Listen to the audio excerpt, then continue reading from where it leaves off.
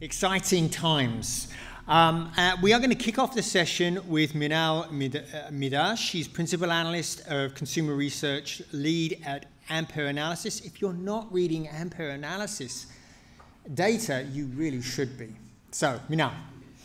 Thank you very much. Thank you, everybody. And that was a great introduction. So, thanks a lot. Um, so, as mentioned, I'm Minal Modha. I'm Head of Consumer Research at Ampere Analysis. And today I'm going to be taking you through how sports leagues can leverage streaming to engage audiences a bit more effectively. So to start off, we're going to look at a very macro level. When we're looking at global sports spend, North America is really driving this with high value deals in the US for the NFL, the NBA, and MLB. On top of that, you have substantial deals for the likes of NASCAR, WWE, and UFC. In Europe, football dominates. Domestic leagues perform particularly well in their home markets, and the Premier League is the most obvious example of this. And then on top of that, you have competitions like the Champions League, which command large fees in their own rights. Now, there is a but here.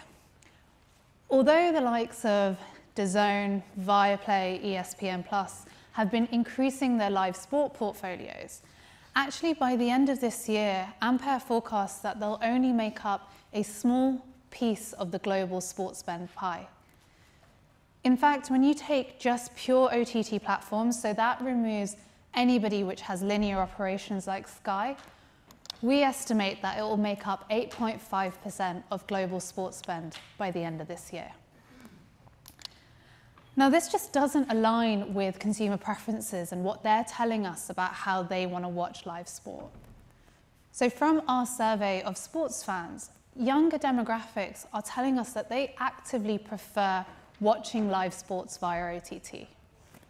36% of them agree with that statement, with only 20% saying that they want to watch via linear broadcast alone.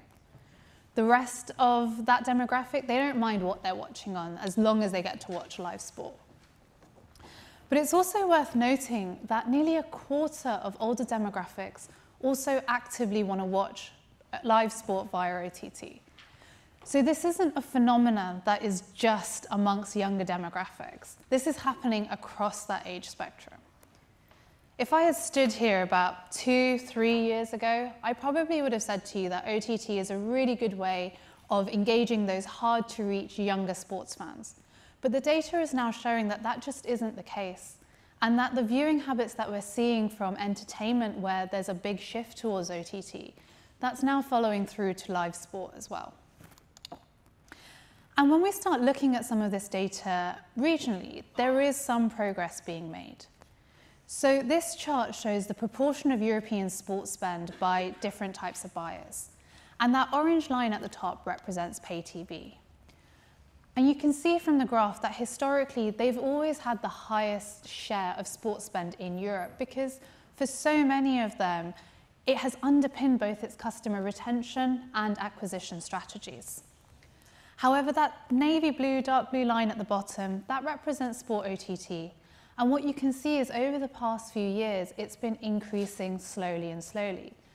So much so that by the end of 2021, it represented 10% of all sports spend in Europe. And by the end of 2022, Ampere forecasts that it will double to 20%. But it's not just about leveraging live rights via traditional OTT. Now, from our research, we know that live is by far the most important form of content.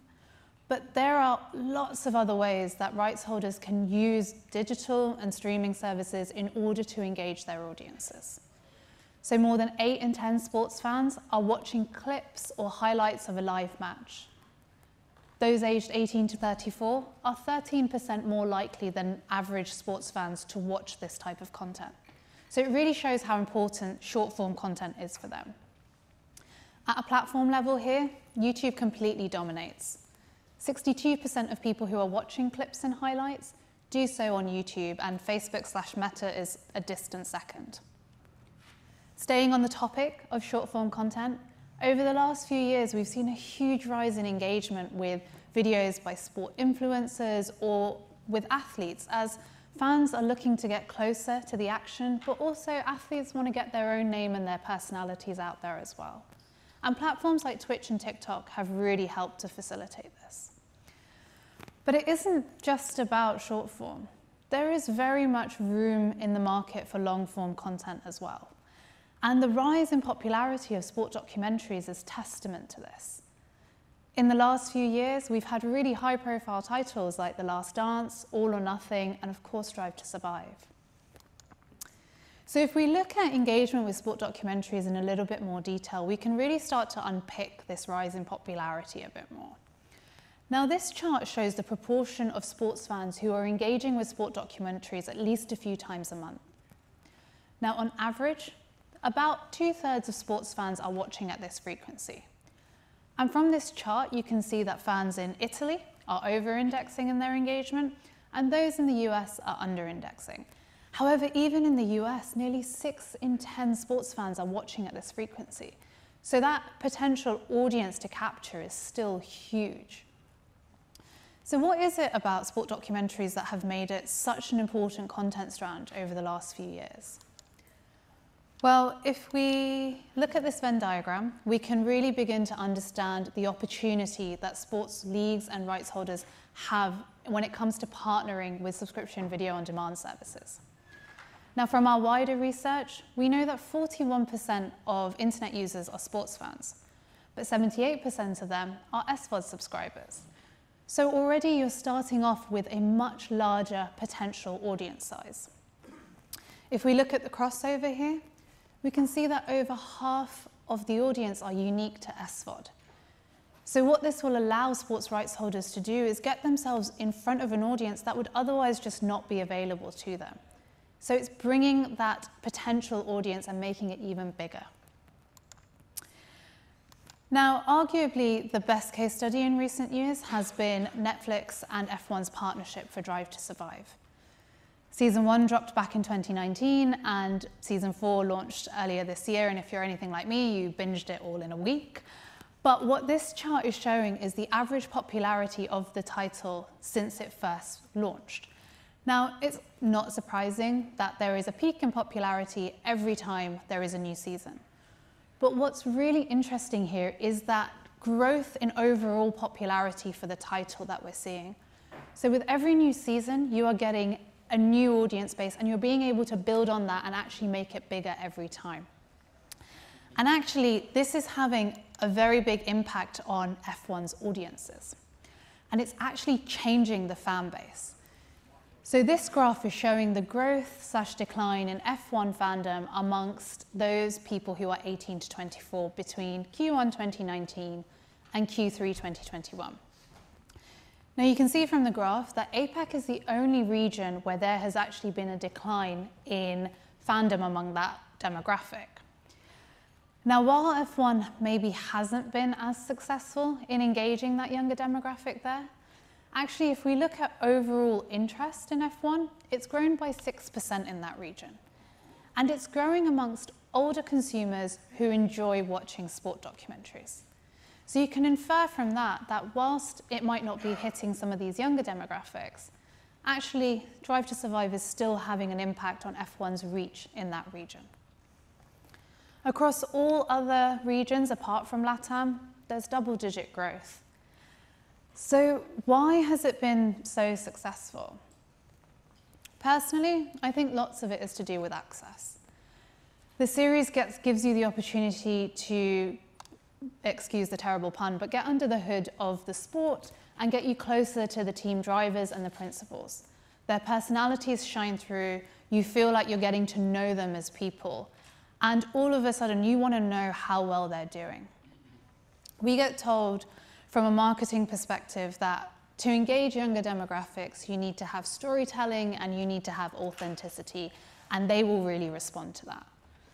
I mean, storytelling, the series has by the bucket loads. We have an exciting narrative arc that goes throughout the season, and you really know what you're getting with it. Authenticity, I mean, we can argue until we're blue in the face whether Lando Norris and Daniel Ricciardo really hate each other or not, But Netflix are definitely hitting a mark there as well.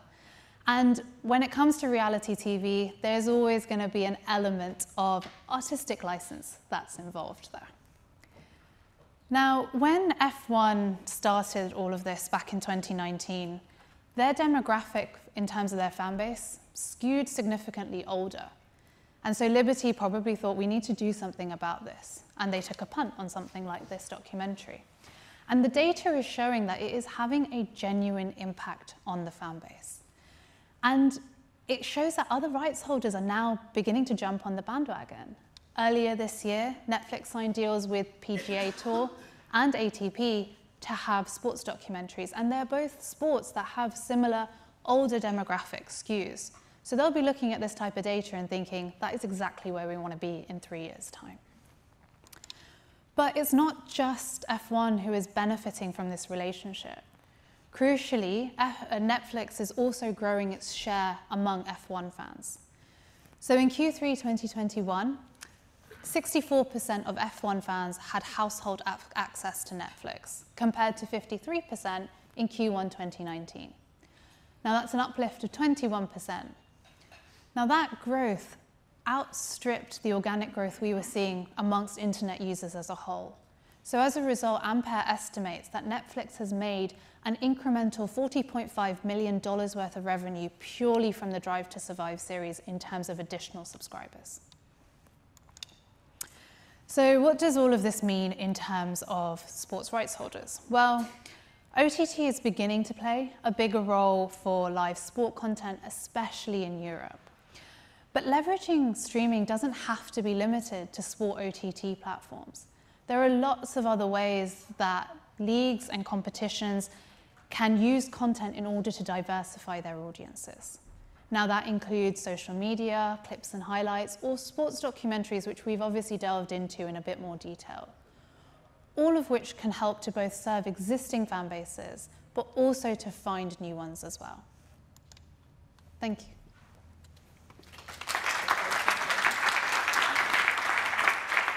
Got, we've got time for a couple of questions. So do we have any questions out there? I know I've, I've certainly got some. Uh, so my first question for you is you mentioned very specifically that the sports documentaries seem to really be engaging with older people. The data that I'm, I'm seeing is suggesting that younger people are be actually beginning to disconnect from mainline premium sports. What can those organizations do to re-engage people with those sports?